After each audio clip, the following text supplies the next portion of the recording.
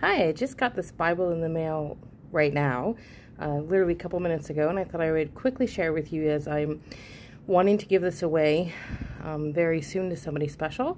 So I'll just flip through it with you. Uh, the New Believer's Bible.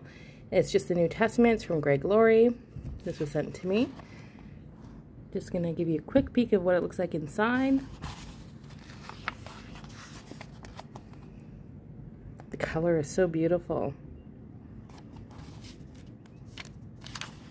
Okay, this is the New Living Testament done by Tyndale House Publishers.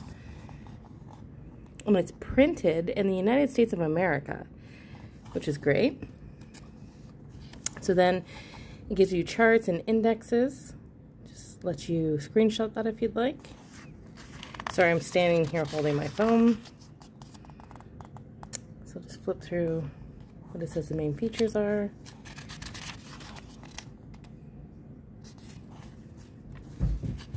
And I have a new puppy, so you're going to hear the puppy in the background possibly. Okay, so now I'll just flip through near the back.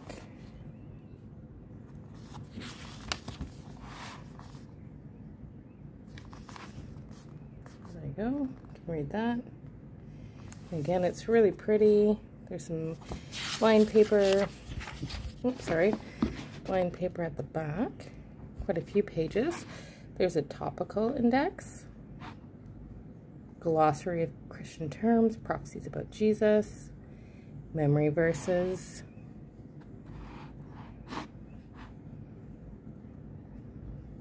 There's a reading plan in here. This is pretty amazing. How to study the Bible. And then it looks like you're getting also some information on the books.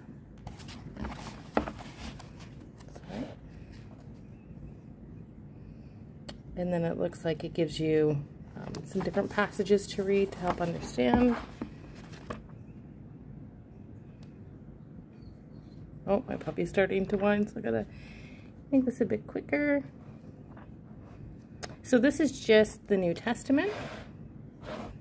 And the person I'm giving it to has been wanting to read the Bible, but they always feel that they need to read right at Genesis because um, they want to know everything, but at the same time, they really want to know about Jesus.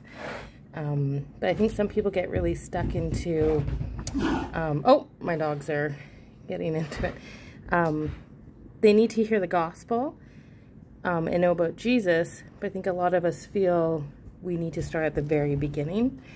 I don't know if that makes sense for some people. Now this isn't red letter. The font size looks to be maybe a seven or eight.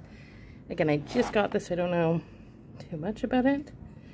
There's a lot of little uh, good articles, some cute articles.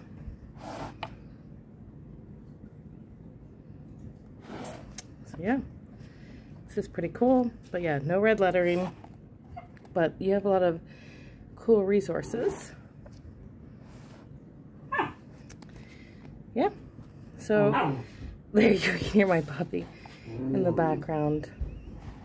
So that's what this New Believer's Bible looks like, and it's not very pricey, so um, yeah, I would suggest getting it. This is going to be going to a teen, so I'm going to be filling this out and giving it to her now. All right, everyone, have a great day, and go check out this New Believer's Bible.